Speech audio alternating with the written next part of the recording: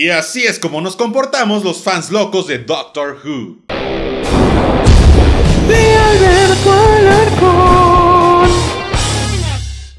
Hola gente, ¿cómo están? Mi nombre es Alberto Alarcón, arroba Shaspid en Twitter. Recuerden seguirme en mis redes sociales. Y el día de hoy, hoy es miércoles, así que es miércoles de reseña o reacción. Una disculpa por el video de ayer que se cortó a la mitad y que a la mitad dejaron de ver este hermosísimo rostro. Pero como el audio lo grabo aparte, pues lo pude salvar. Y bueno, pues he decidido que voy a hacer una pequeña o gran reseña de una de mis series favoritas llamada Doctor Who. Para los que no sepan quién es el Doctor Quién, pues debo decirles que están bastante un poco desinformados, ya que Doctor Who es una de las series más importantes de Inglaterra. Y, y, créanme, es más importante que la señorita Laura aquí en México. Esta serie es producida por el canal BBC, que es un canal que me parece, no estoy seguro, pero me parece que es de gobierno. Es como es como Televisa, pero de allá. Y yo sé que comparar BBC con Televisa es un crimen horrible, pero es para que se den una idea de más o menos el nivel de producción que hay allá y el nivel de producción que hay acá. Y es que en la BBC hay muchas series importantes y muchas series muy muy padres y, ustedes deberían checarlas. De hecho hay un canal aquí en México llamado BBC Entertainment que es algo así como una versión para Latinoamérica, donde ustedes pueden checar muchas, muchas series que son hechas en la BBC de allá y que están subtituladas acá y que además tienen Doctor Who. Sí, Doctor Who pasa aquí en México por si ustedes no lo sabían. También lo pueden encontrar en Netflix, creo que están como 7 temporadas o algo así. Y está muy muy padre porque Netflix lo puedes ver en HD y cuando tú quieras y no cuando te lo pone el canal. Además de que lo puedes ver de corrido, lo cual es muy importante porque cuando lo ves en el canal normalmente te pasan episodios salteados o, como que no tienes mucha idea de qué está pasando.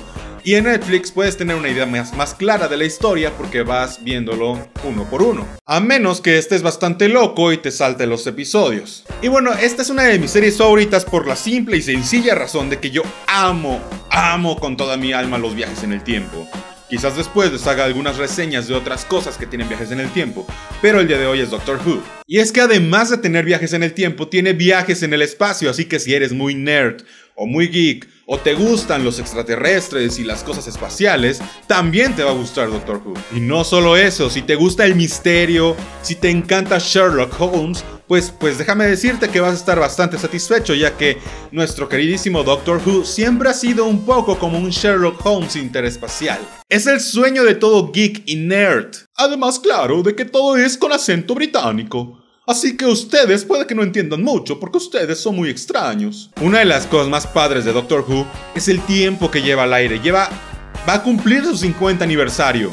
50 aniversario. Eso es imposible en la televisión. Bueno, casi imposible porque ya ocurrió con Doctor Who. Y es que esta serie se estuvo produciendo durante muchísimo tiempo, incluso si buscas en internet o a lo mejor lo transmiten en TV, hay episodios en blanco y negro, hay episodios donde se nota que, su producción no era muy grande, hay, hay episodios donde se nota que el doctor era bastante setentero, sin embargo, son episodios que también valen muchísimo la pena y que además de todo, pues siguen teniendo la misma esencia. La serie se estuvo haciendo hasta que un día la dejaron de producir y de hacer eh, por ahí en los noventas y, y la retomaron como unos 5 o 6 años después en los 2000 en el 2004 me parece. Qué gran fan soy, wow. Sé todo sobre Doctor Who, ¿no? La verdad es que la verdad es que yo no soy un fan tan clavado de las cosas. Normalmente me gusta mucho algo y ya me digo fan, pero pues no no soy tan investigador de todo y pues no sé muy bien los años, pero eh,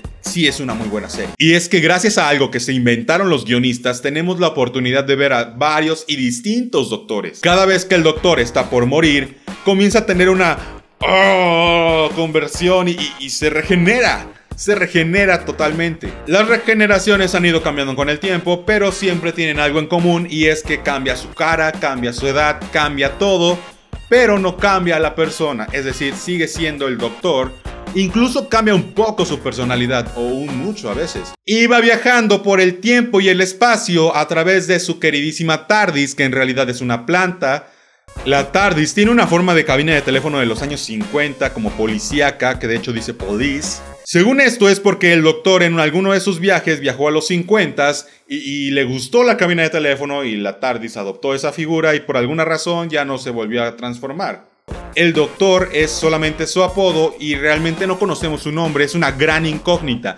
De hecho, por eso se llama Doctor Who. ¿Doctor quién? Doctor Who. ¿Doctor quién? El doctor. ¿Doctor quién? ¿Doctor Who? ¿Doctor Who? Lo mejor es que como la serie fue producida en los 70s, como que sus ideas y sus, sus cosas que armaban y toda su producción era como bastante simple. Sus villanos eran bastante simples y actualmente siguen usando esos mismos villanos.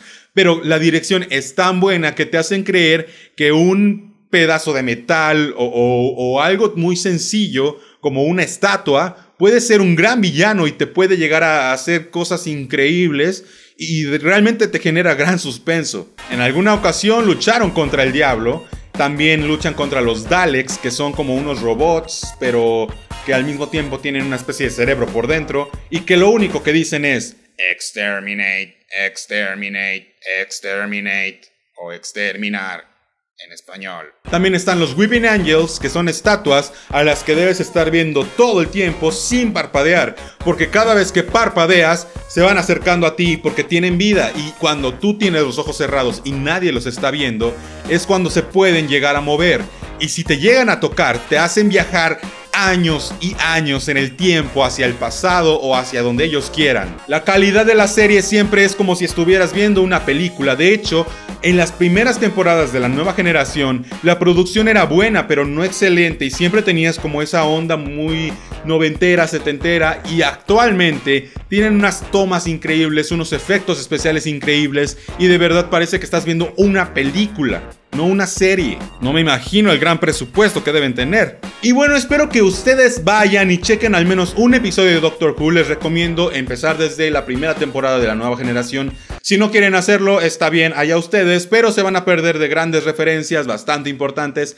Aparte que si la ven desde el principio y hacia arriba, van a darse cuenta de cómo va increciendo la calidad de la serie. Pero recuerden que esta es solamente mi opinión, tal vez la tuya sea más correcta y quiero saberla. Quiero saber qué opinas de la serie de Doctor Who aquí abajo en los comentarios. Si nunca la has visto, comenta alguna serie que quieras que yo reseñe o que a ti te guste y yo voy a checarla también. Que esto sea recíproco.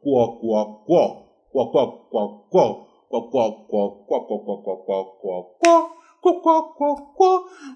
qué rayos se siguen viendo esto? Esto fue el miércoles de reseña o reacción. Espero que les haya gustado el video de hoy. Mi nombre es Alberto Alarcón, arroba Shaspid en Twitter. Recuerden seguirme en mis redes sociales. Y yo los estaría viendo el día de mañana jueves con algo que me tiene harto con el mundo. Por favor, recuerden suscribirse si es que la primera vez que ves uno de mis videos y pasar a Brushster y todos los links a todo lo que les estoy diciendo están aquí abajo en la descripción. Nos vemos mañana. See ya. Si quieres suscríbete, si quieres suscríbete, si quieres suscríbete, ponlo en tu Facebook. ¡Ey, qué pachanga! Si te gustaron mis videos, aquí te dejo algunos más. Recuerda visitar el canal de Broster y compartir todo esto con tus amigos. O si no, se te pudrirá el tamal. Y para eso no hay remedio. ¡Adiós! Communicate.